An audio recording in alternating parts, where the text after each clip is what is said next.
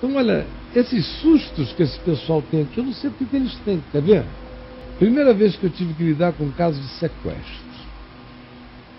Filha de um amigo meu foi sequestrada há uns 25 anos atrás. Eles muito ricos, sequestrada na escola em São Paulo, na faculdade. Aí ele me liga, Caio, sequestraram a fulana, corre para cá. Eu fui para o Santos Dumont, uma hora e quinze depois eu estava dentro da casa dele no jardim. E ele recebeu o primeiro telefonema, eu estava entrando.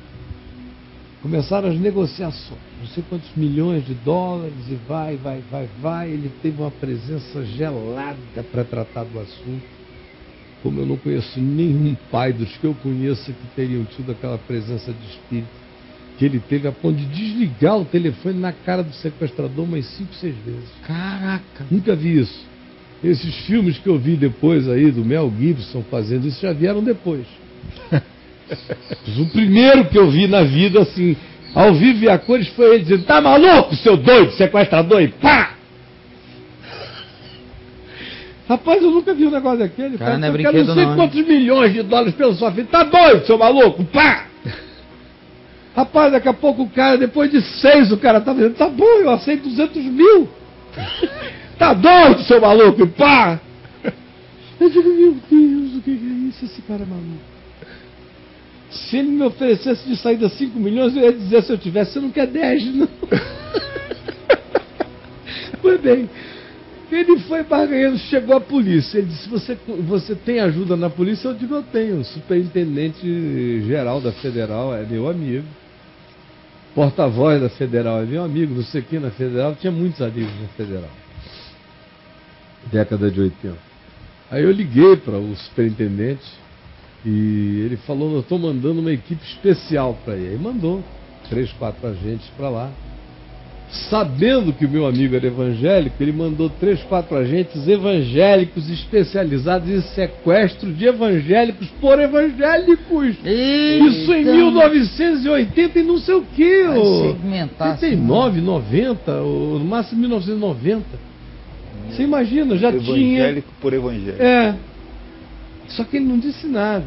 E quem me mandou isso era um superintendente que também era pastor.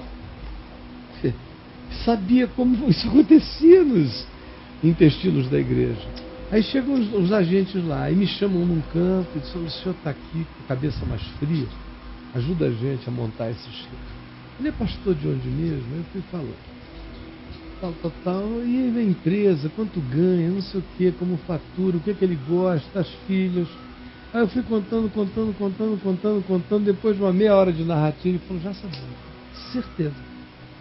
Isso é um grupo de garotos de igreja, devem gostar de música, de banda, porque a filha deles não toca numa banda na igreja, não toca em bandas por aí. Deve ter sido um pessoal que conheceu a menina através de música na igreja.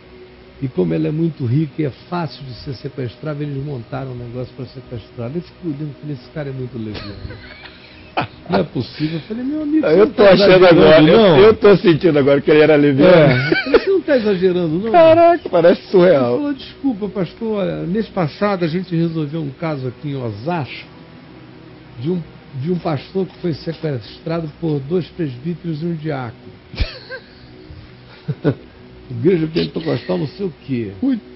Outro dia a gente resolveu um outro ali e contou o caso lá, não sei se era São José dos Campos, um Que lugar que é daquele. isso? Aonde. Aí ele foi dizendo, as dinâmicas. Aqui está com cara disso. Se a gente tiver enganado, a gente tá, mas vai ser parecido.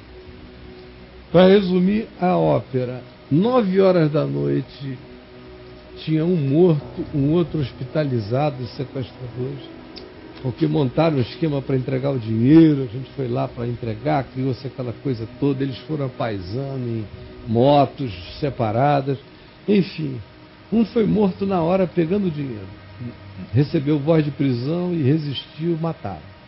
Outro correu, levou acho que 25 tiros entre a perna direita e a esquerda. Os caras tinham uma pontaria doida.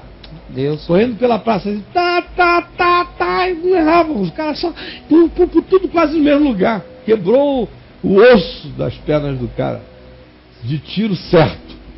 Foi impressionante. E um terceiro estava assistindo de um camarote na praça, num prédio em cima, vendo tudo. Foi quem avisou os outros e fugiu.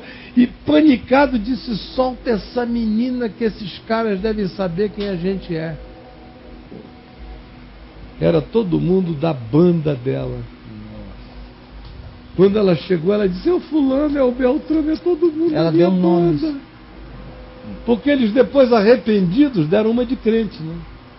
Chegaram lá, desculpa, fulano, a gente queria dinheiro, mas vê se dá um jeito da gente, vai embora e não entrega. Sabe a garota não ia entregar? Apavorada, pegou um táxi, foi para casa e chegou lá dizendo que o fulaninho, tudo pelo nome diminutivo. E a tragédia depois? Um desses garotos foi para a cadeia e a mãe dele me conhecia e vários amigos dele me conheciam. Aí ele ficava mandando me ligar e vários me ligavam pedindo a mim que intercedesse junto ao pai da menina para tirá-lo da cadeia. Eu disse, "Eu não posso fazer isso, querida. A gente tem que viver com as consequências. Eu posso ir orar Uhum. e pregar o Evangelho, pedindo a Deus que o pacifique, que ele receba graça, perdão, que como Manassés ele seja perdoado na prisão dele para sempre. Agora, Uhum. as consequências históricas a gente tem que viver. Não dá para pensar que o perdão de Deus suspende consequências históricas. Algumas são tão diminutas que são suspensas. Outras são tão graves e têm vida própria que a gente segue perdoadamente vivendo as consequências cotidianas do agravo que a gente faz. Isso é para quem acha tudo exagerado. Aí se eu começar a contar outras coisas, vocês vão entrar em pânico. E se eu citar o nome dos que fazem, que todo mundo conhece por aí, é aí que vocês vão dizer que eu estou doido. Minha situação é muito grave, eu sei de muita coisa, graças a Deus não digo nada. Vai chegar a hora em que a luz manifestará tudo. Uhum.